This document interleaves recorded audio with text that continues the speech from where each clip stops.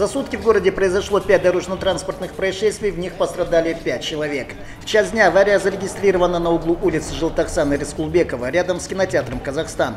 Здесь столкнулись автомашины Mercedes-Benz и Toyota Land Cruiser.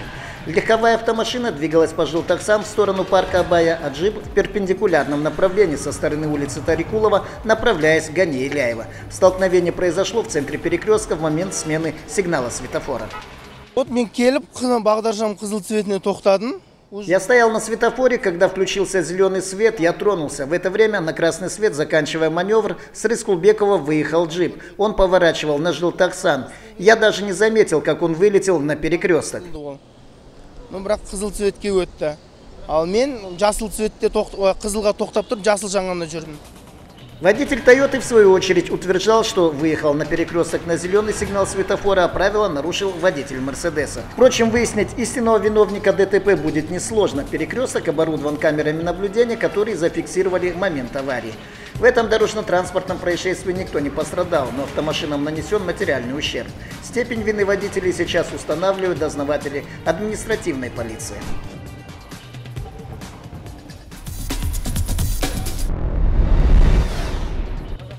Сложная дорожная обстановка в Шимкенте вынуждает сотрудников дорожно-патрульной полиции ужесточить контроль за нарушениями правил дорожного движения.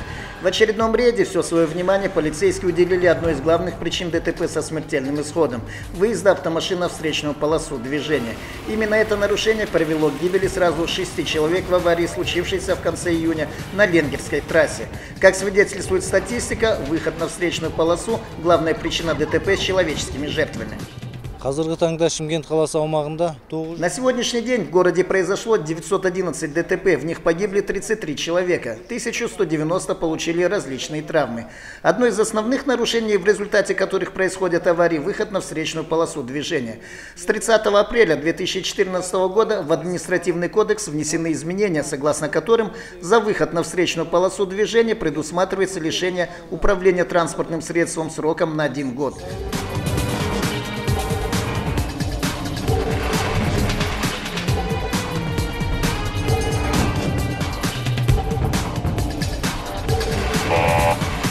міне кетті міне алдында кетті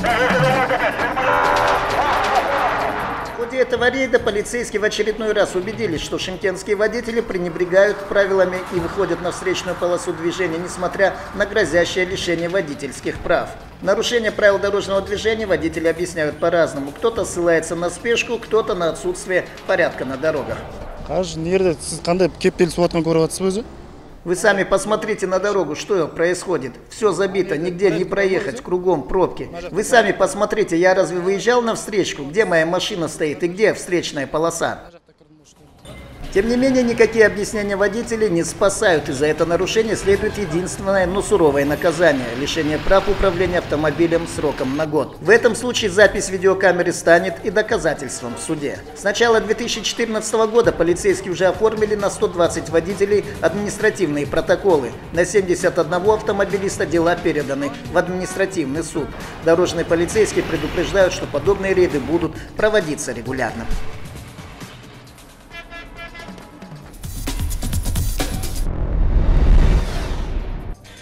Змеи продолжают оккупировать человеческие жилища. Очередной случай проникновения рептилий в частный дом произошел в микрорайоне Тасай. Здесь метровая змея проползла в ванную комнату, зарывшись в бак с бельем. Ее случайно обнаружила хозяйка дома и вызвала спасателей отряда департамента ПЧС. Обнаружить и изловить змею при помощи специальных приспособлений оперативники смогли в течение 10 минут. Рептилия, как и в большинстве случаев, оказалась не ядовитой. Поместив банку, спасатели вывезли ее в степь.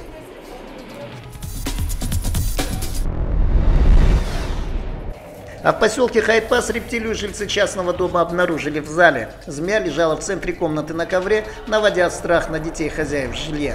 Именно дети первыми обнаружили рептилию, позвав родителей, а те в свою очередь обратились за помощью к спасателям ЧС. Изловить змею для спасателей, уже имеющих большой опыт в этом деле, труда не составило. Уже через три минуты присмыкающееся было надежно упрятано в банку.